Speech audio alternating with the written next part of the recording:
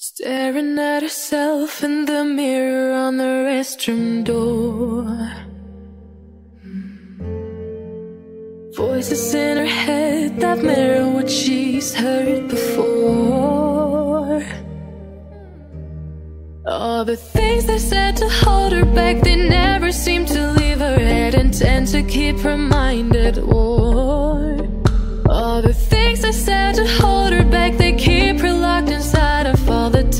She's been hurt before. Her eyes are swollen as she tries to hold her tears back.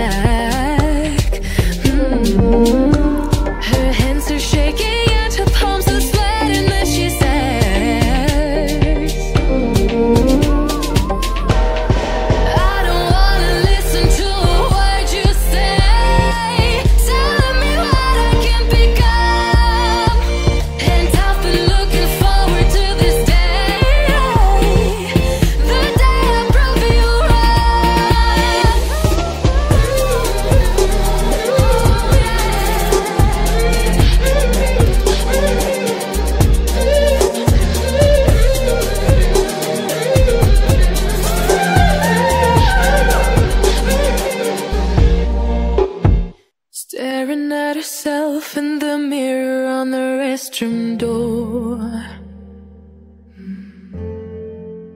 Voices in her head